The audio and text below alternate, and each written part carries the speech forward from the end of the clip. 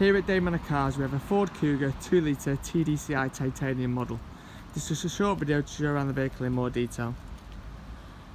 This Ford Kuga has a full service history consisting of six services, with the most recent service being done at 60,057 miles. The car also has an MOT until August 2019. As you can see the car is fitted with a rear tow bar. It's also got rear parking sensors, rear privacy glass, alloy wheels. Overall for its age and miles the car's in lovely condition. It's got the odd little stone chip or light scratch as you'd expect but nothing major to point out whatsoever. Come around to the front of the car. Show you inside the vehicle.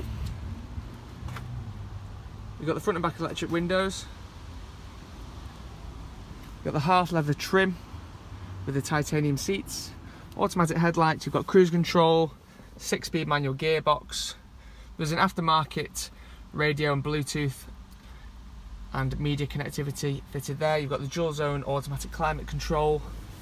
Interior is in fantastic condition. Rear of the car looks as though it's never been sat in. Really, really well looked after. Boot area, huge boot space and lovely and clean. And then finally from the passenger side front, the seat is in immaculate condition. Really does look well. You've also got the white outer contrast stitching, which really sets the seats off. If you'd like any more information at all, please give me a call on the number in the advert. Thank you.